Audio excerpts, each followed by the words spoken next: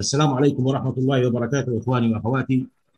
يسعدنا في قناتكم هذه أن نستضيف اليوم الباحث محمد دعاس ليحدثنا عن فترة الكمأة ويجيب على بعض الأسئلة اللي وردتنا في في القناة. فإن شاء الله إن بنستفيد وفيدنا مرحبا فيك أخ محمد دعاس. تحياتي. أهلا وسهلا دكتور علي حياكم الله. شكرا للاستضافة. بارك الله فيك. آه، وردتنا أسئلة كثير يعني آه، حول موضوع الكمأة. في أعراض بتظهر على الإنسان يعني آه، أعراض معينة. بيكون عارف إنه راح يجي له الكاتاراكت أو ما يجي له في أي أعراض لها تيجي يعني؟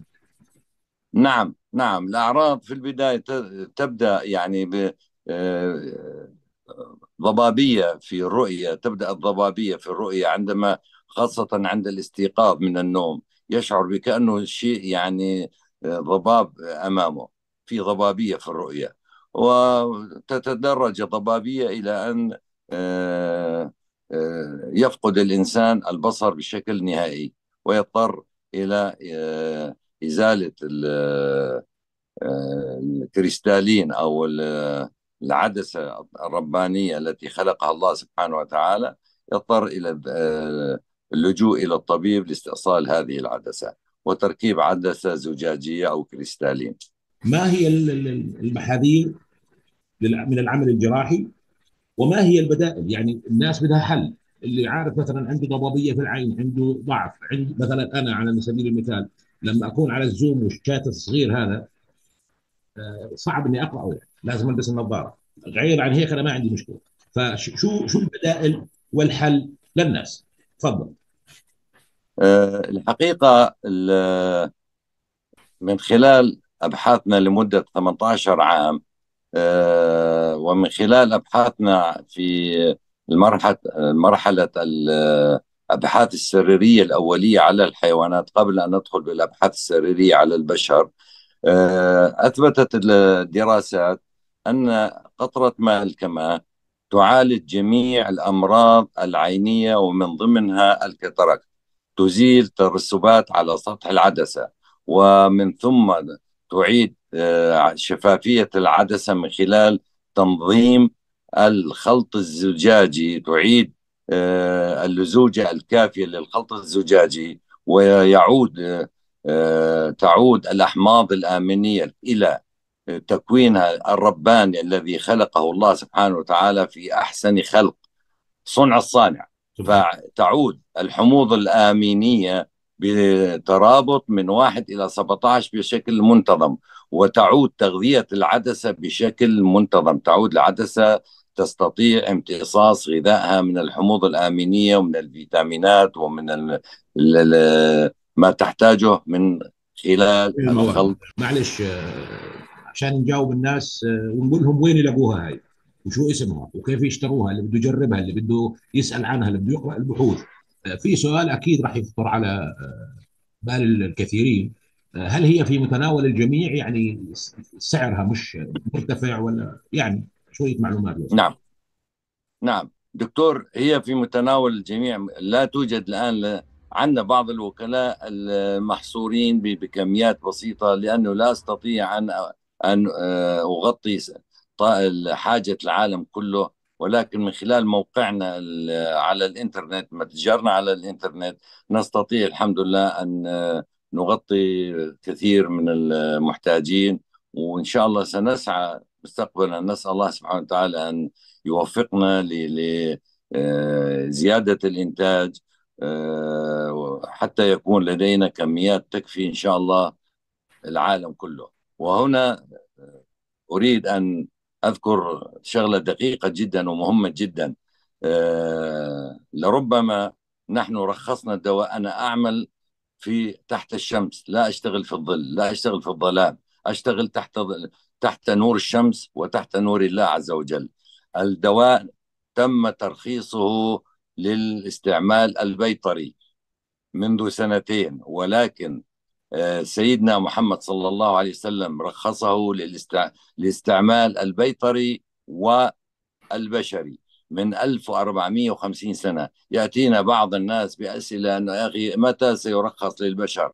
نحن لا لا فرق بين عين الأرنب وعين القط وعين الكلب وعين البني آدم. لا فرق. نفس تركيب العين. أحدد الحيوانات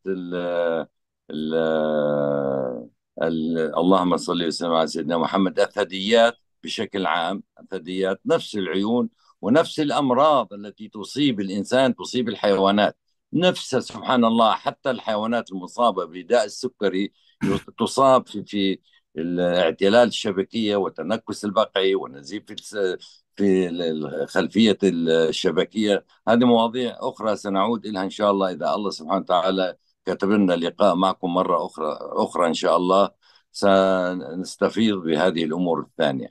أما بالنسبة للكتراك بكل ثقة وبكل يقين لدينا حتى أطباء عيون في رومانيا أطباء عيون لديهم cataract وتم علاجهم وكتبوا ذلك.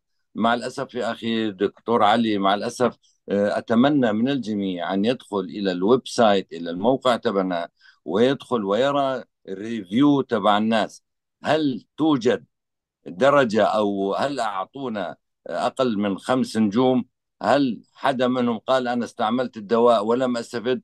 رغم أنه كل ال review الموجوده على الموقع تبعنا آه، تقريبا الآن في أكثر من 38 review على ال website ولكن عندنا مئات review على الإيميلات وعلى الواتساب. أما 38 review الموجودين على ال website تحتوي إلى أكثر من 20 مرض من أمراض العيون. وهنا المعجزة لسيدنا محمد صلى الله عليه وسلم. الحقيقة سبحان الله يعني حديث سيدنا النبي محمد صلى الله عليه وسلم الكمأة من المن وماؤها شفاء للعين. فأنا أقدر وأثمن متابعيك آه، وجدت أنه أكثرهم ما شاء الله عليهم متعلمين مثقفين فاهمين آه، يريدوا يريدون أن يتثقفوا كثيرا من خلال آه، الأمور الطبيعية والأمور أنه يبتعدوا عن العمل الجراحي يبتعدوا عن ال ال ال الأدوية الكيميائية عن الأدوية السينتيتيك اللي هي آه، فيها مضرة وليس فيها منفعة. نعم. فأقول أسأل سؤال لجميع المتابعين والمتابعات. كيف وردت كلمة شفاء في الحديث النبوي الشريف؟ الكمأة من المن وماؤها شفاء للعين؟ كلمة شفاء وردت نكرة والنكرة تعمل تعني العموم لما بعدها أي أن في هذا الدواء أو في ماء الكمأة شفاء لجميع أمراض العيون. أليست الكتركت مرض؟ وهي مرض من أمراض العيون من أكثر من أكثر الأمراض شيوعا ومن أكثرها آه، آه، يعني إزعاجا.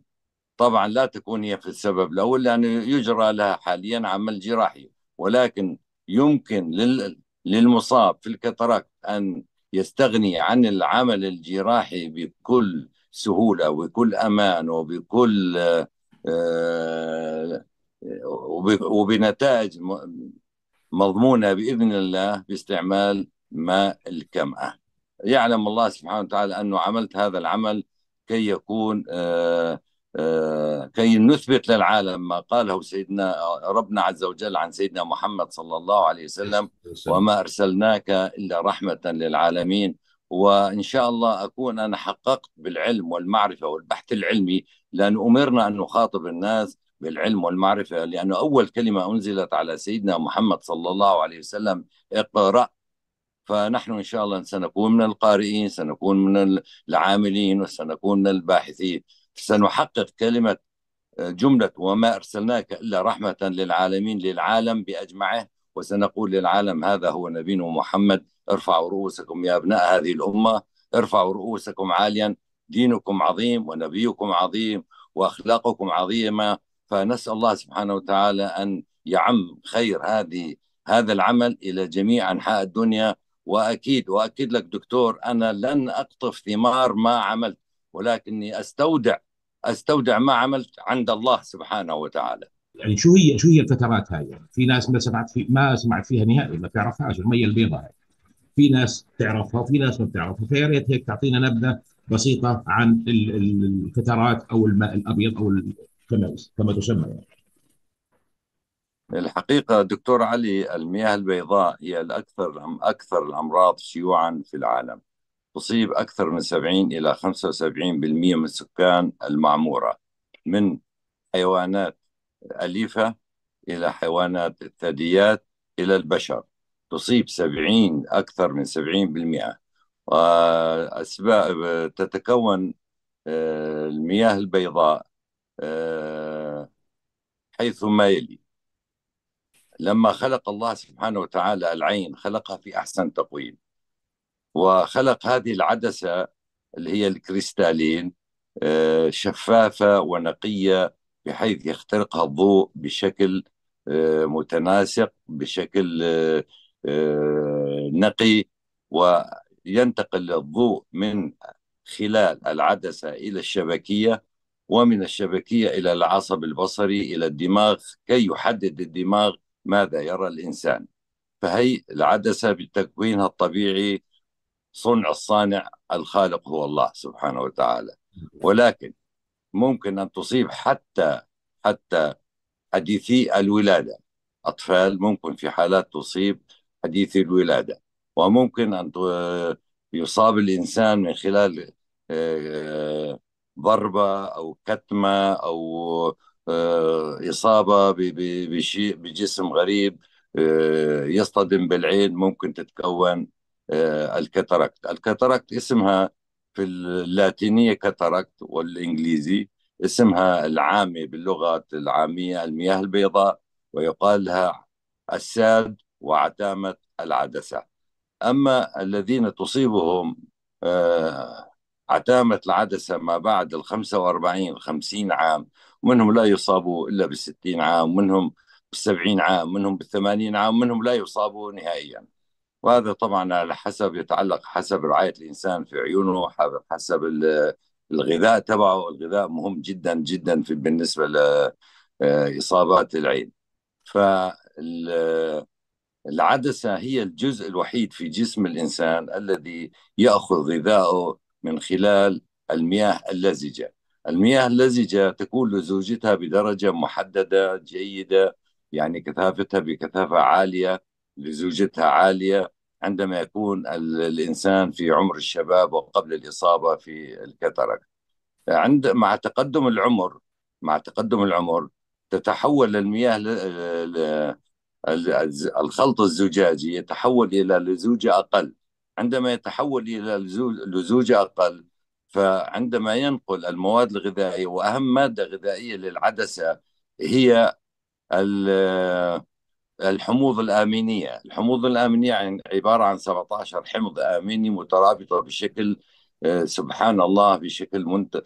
آه، منظم من رقم واحد إلى رقم 17 بعد آه، التقدم في العمر وبعض الأخطاء التي يرتكبها الإنسان في من خلال غذائه ومن خلال عدم اختيار الغذاء المناسب له فتبدأ لزوجة المياه اللزجة أو مياه الكريستالين تبدأ لزوجتها تقل وتبدأ آه، ترابط ويبدأ ترابط الحموض الآمينية اللي هي 17 حمض تبدأ بترابطها بشكل عشوائي.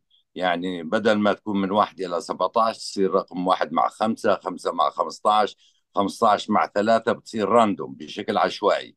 عندما يكون الترابط بشكل عشوائي تأتي المياه آه، الخلط الزجاجي إلى العدسة. العدسة الوحيدة التي تأخذ غذاء بطريقة الرشح لا تأخذ غذاء عن طريق الدم.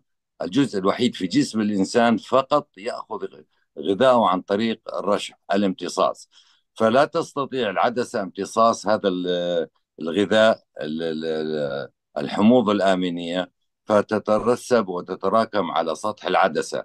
الأمر يطول شرحه ولكن أنا أختزل دكتور علي أختزل هذه الأمور بشيء قدر ما استطعت. آه، تتركز أو تتموضع الحموض الآمنية على سطح العدسة لأن العدسة لا تستطيع امتصاص هذا الغذاء بشكل عشوائي. فمع مرور الزمن تتراكب اولا بأول أول بأول أول بأول حتى تبدأ ضبابية في العدسة. لا يستطيع الضوء المرور من خلال العدسة إلى أن تكون العتامة العتامة النهائية وكلية. ومن أنواع الكترك لها أنواع. ممكن أن تكون فقط على سطح العدسة ممكن أن تكون العدسة بشكل كبسولة التراكمات عليها من الأمام ومن الخلف. أيضا حتى في الحجرة الخلفية للعدسة ممكن أن يحصل, يحصل عليها تراكمات وهذا سبب من أسباب عدم نجاح العمل الجراحي لبعض الحالات آه، من الكاتاراكت عليه الصلاة والسلام.